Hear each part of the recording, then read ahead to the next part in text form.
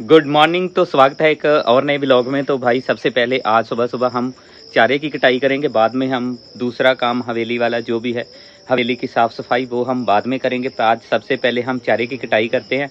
और आज पशु हमारे भी बहुत गंदे हैं। पशुओं को हम नहलाएँगे क्योंकि मौसम साफ़ है।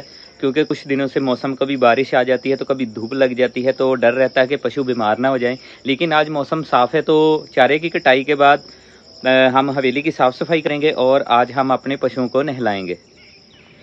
तो हमारे खेत में जो ये चिड़िया का घोंसला है भाई, इसको पता नहीं क्या होगा ये तो पूरी तरह से नीचे गिर गया अभी इसमें।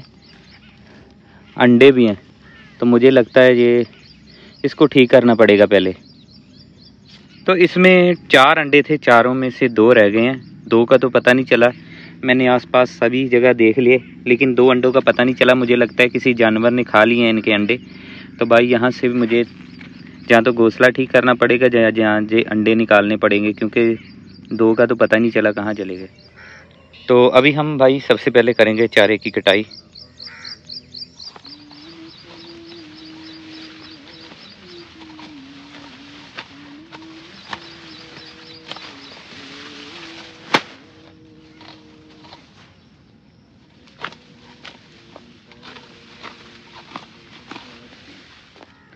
तो कटाई वाला काम तो हमारा चारे की जो हमने कटाई की थी, वो काम हो चुका है पूरा। अब हम घर जाएँगे और इस चारे को मशीन से निकालेंगे और पशुओं को डाल देंगे।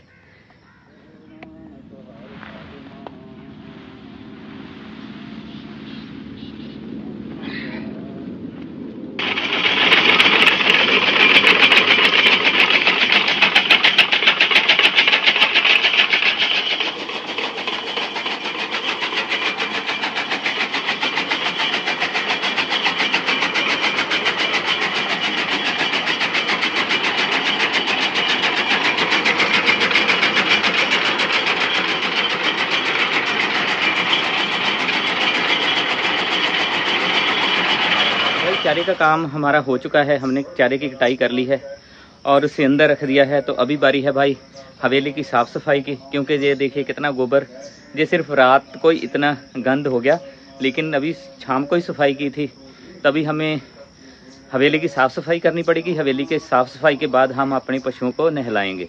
तो फिर ही चारा डालेंगे, पहले साफ़ सफ़ाई का काम करके पशुओं को नहला के फिर चारा डालेंगे, क्योंकि एक बार चारा डाल दिया, वो इन्होंने खा लिया है। अभी हम दूसरी बार चारा डालेंगे, लेकिन पहले सफ़ाई के बाद।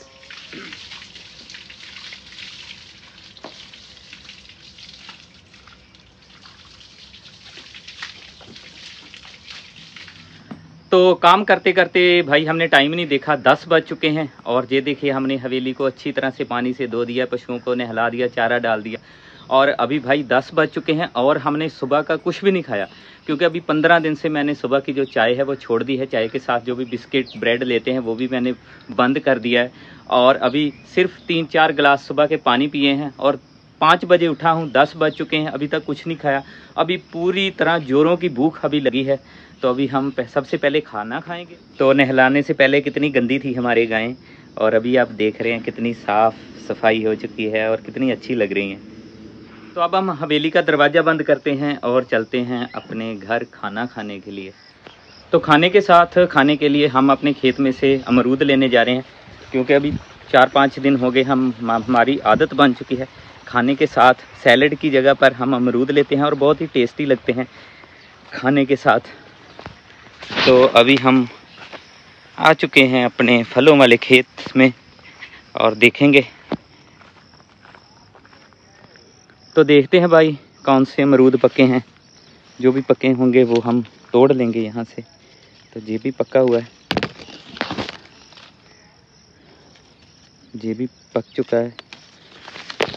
और देखेंगे, जितने भी हमें मिले, ये पूरी तरह से पका हुआ है। हाथ लगाते ही पता चल जाता है। और एक मुझे वो लगता है, ये वाला, ये भी पका हुआ है। तो जी भाई हम इसे काट के नमक डाल के इसमें नींबू डालेंगे इसके ऊपर और बहुत टेस्टी होते हैं ये और बहुत मीठे हैं। तो गर्मियों में भाई यहाँ पर नहाने का कुछ अलग ही मज़ा है खेत वाली मोटर चल रही है तो अब हम यहीं पर नहाएँगे। तो खाने में है दो चपाती और ये लौकी की सब्ज़ी और इसके साथ अमरूद। तो शाम का टाइम हो चला है तो भाई सूरज धीरे धीरे छिप रहा है और आज हमारे पशु बहुत खुश हैं क्योंकि आज काफ़ी साफ़ सफ़ाई हो गई है, काफ़ी दिन हो गए, नहलाया नहीं है। तो हमने जितना भी काम करना था, वो कर चुके हैं, दूध भी निकाल लिया है और आज का हमारा जितना भी हवेली का काम था, वो कंप्लीट हो चुका है। हमारी डेली रूटीन है, सुबह और शाम काम करना पड़ता है। तो अब हम चलते हैं अपने घर। तो भाई हमें याद ही नहीं था चिड़िया का घोंसला, जो नीचे की तरफ़ हो गया था तो भाई इसकी थोड़ी बहुत हमने सेटिंग कर दी है। अभी पता नहीं चिड़िया इसमें आएगी या नहीं आएगी इस घोंसले में। अभी बाद में पता चलेगा। अगर नहीं आएगी तो कोशिश करेंगे इन अंडों को हम फिर घर ले जाएँगे अपने। तो अभी वेट करेंगे, सुबह पता चल जाएगा चिड़िया आई है या नहीं। सेटिंग इसकी हमने कर दी है, ये देखिए, रस्सी बाँध दी है, क्योंकि इसका मुँह जो है वो नीचे की तरफ़ था। तो हमने अभी अपनी तरफ़ से थोड़ी सी सेटिंग तो कर दी है। अर्जुन अपना होमवर्क कर रहा है, काफ़ी बिज़ी है अपनी स्टडी में। तो आज के ब्लॉग में इतना ही। मिलते हैं फिर नहीं नेक्स्ट ब्लॉग में। चैनल को सब्सक्राइब करते रहना।